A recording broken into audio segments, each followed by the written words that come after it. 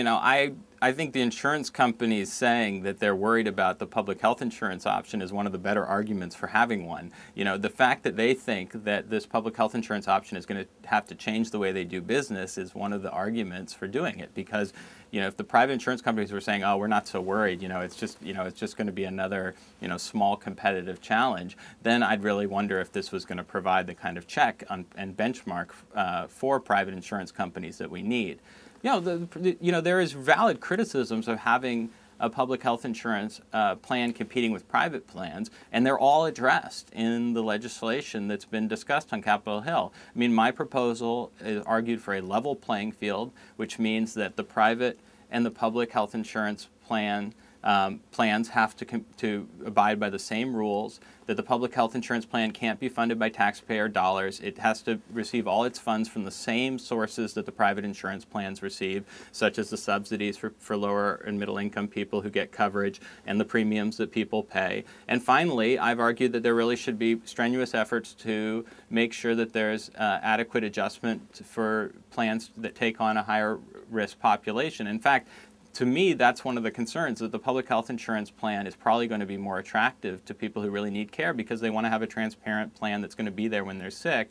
And if that's the case, we need to really work hard to make sure that the, the playing field isn't tilted against the public health insurance plan.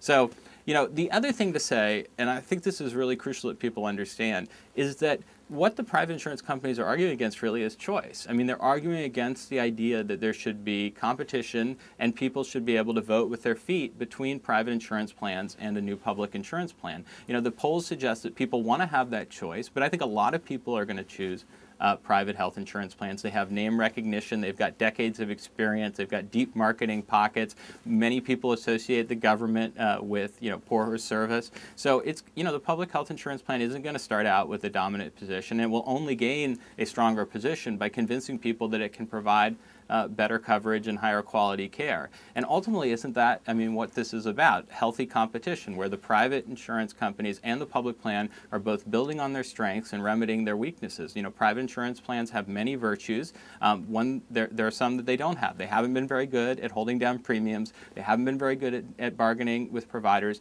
They haven't been as innovative as they say they have been in delivery of care. I mean, right now we're talking about Medicare taking the lead in reforming the delivery of our healthcare system. Well, I think that we should have a public health insurance plan for people younger than 65 that's contributing to that reform as well. So to me, you know, the best argument for it is the private insurance companies are worried about it because that's precisely what we need, real competition. Well, I think the co-op model is just a fig leaf for people who are opposed to the public health insurance plan and don't want to have the blood of, of the public health insurance plan's demise on their hands. Because the Congressional Budget Office looked at this and said the co-ops weren't going to make any difference in the market. I mean, I'm not against the idea of having member-run cooperative health plans. There's some wonderful plans out there like Group, Group Health Cooperative of Puget Sound or Health Partners in Minnesota. But those plans are very small and limited, and even with new federal funds, it's going to be very difficult to create those plans and have them compete effectively against these massive private insurance plans that dominate the market today. I mean, Group Health Cooperative of Puget Sound has a half million members, and WellPoint has something like 33 million members. So you need to have some very serious counterweight on day one to the private insurance plans, and only a public health insurance plan that's linked to the Medicare program in important respects is going to have that. So one of the things that's really important about the House legislation is that it creates this new public health insurance plan in part building on the infrastructure of Medicare. It's run by the Department of Health and Human Services.